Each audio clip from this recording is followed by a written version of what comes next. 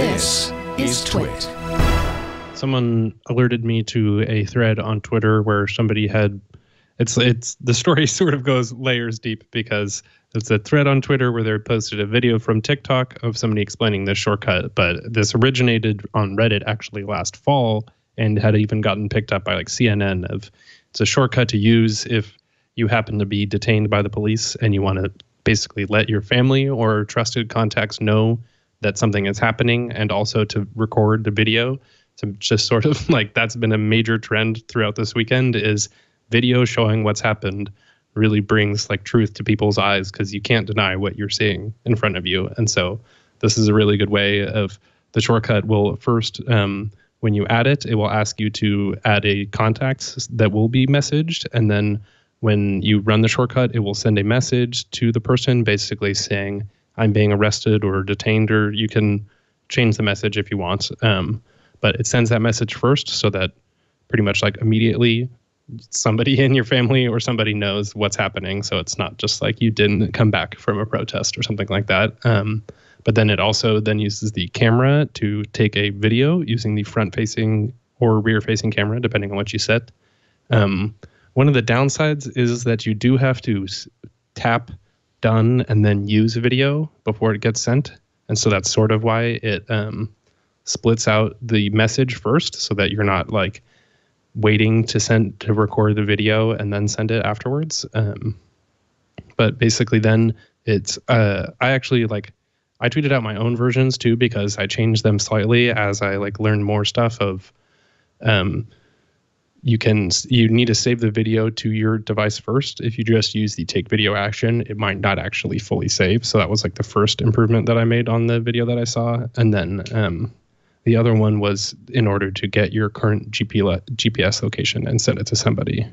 And there's uh, two tricks too that you could use there where if you use part of the problem is that if you use get my current location in shortcuts, it makes a brand new GPS call, and that can take like a couple of seconds, maybe. Um, or I mean, it goes really slow on iPads.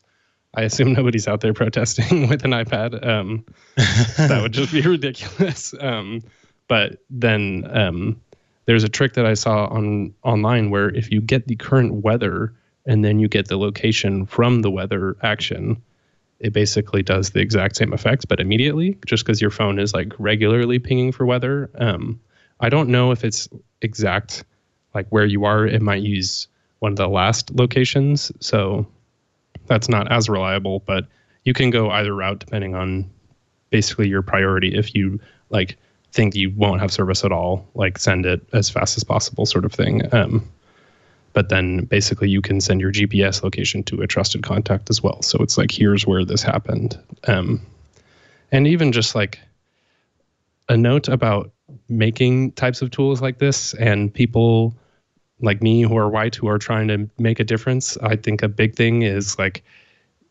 do something anyways and if you make a mistake remove it and continue forward like i made another version of the shortcut where there's a whole lot of like unrest around the protests and it's like oh make sure to like report people and then people were like you suck and i was like oh, okay i'm going to take this down this is not okay like use mm-hmm. those tools for good and also if you do make a mistake remove it and say something and then continue forward like i think that saying something is much more important than potentially making one mistake. And even as a person of like who has that privilege, it's like I can make that mistake and it's fine and it's not going to end my career or something like that. So I think that's another thing too is putting your voice out there when you are not necessarily like sure about it is more important and even less risk for you. Um, so that was one of the reasons I want to like share these types of things is because since this, this actually went viral, like the person who was tweeting it was already going viral and then i think like 5000 people have downloaded the shortcut so far or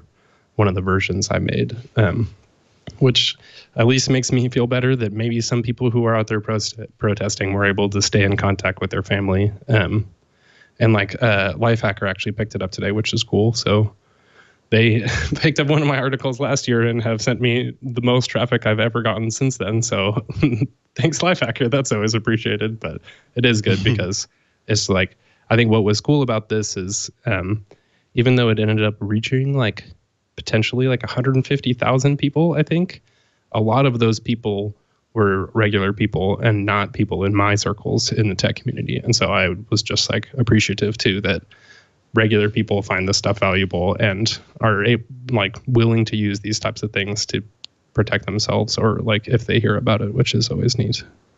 Um, and a big thing too, if you are downloading shortcuts for the first time, you have to go through a whole process of toggling add untrusted shortcuts on in the settings and it won't even be available if you haven't run a shortcut yet so you might have to get one from the gallery. But there's a lot of people. I'm glad i put those in the shortcuts too because those like tons of people had to figure that out for the first time too. But and another i guess the last step is you can add it to your home screen too. So a big part is that you're able to just like pull out your phone and tap one thing.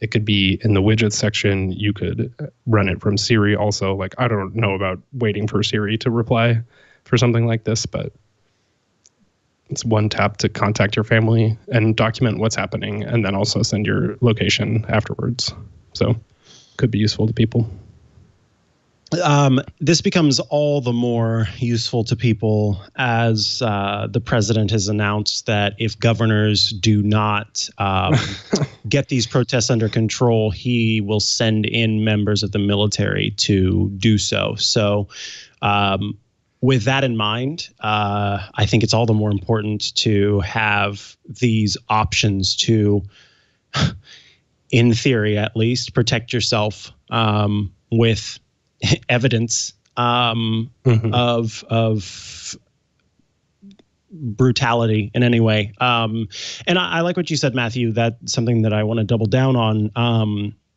the pride and fear of making a mistake out in the open uh, outweighing your desire or ability to to to try and help out um, that you choose to try and help out rather than letting your pride get in the way is uh, a thing that I think is, is a good point to hammer home and encourage. And um, I feel that you have done so in a way that does not uh, does not drown out black voices and does not you know s- step on anyone. And so I appreciate that, and I appreciate the messages that you uh, the the tools that you've made available.